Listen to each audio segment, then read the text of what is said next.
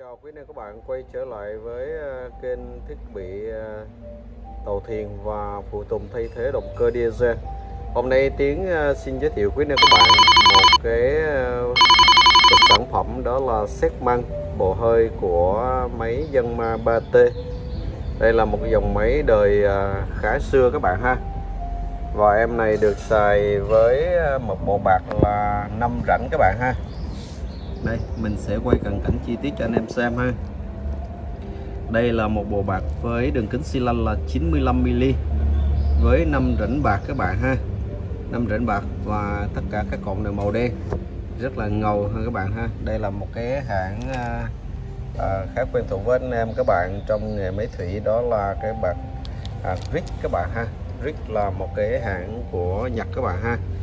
À, thì à, đây là một cái à, dòng sản phẩm phải nói là rất là cổ điển 3T khi nói đến à, những cái dòng này thì phải nói là rất là y lực và rất là bền bỉ ha các bạn ha? Bền bỉ. Đây là hai cọng bạc nhất ha, còn hai ba cọng bạc đầu ha. Đây cọng bạc hơi nó đóng cái dòng cái chữ R ha R và R2 R3 ha, với chữ chìm ha các bạn ha rất là chuyên nghiệp. Với đánh bạc xéo ha. À, xéo đầu phải nói là rất là chắc chắn ha. Rất là chắc chắn các bạn.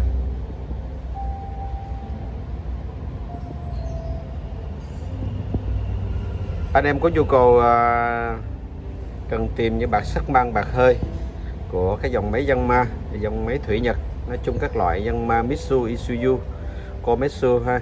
À, thì cứ liên hệ với hotline 0903 070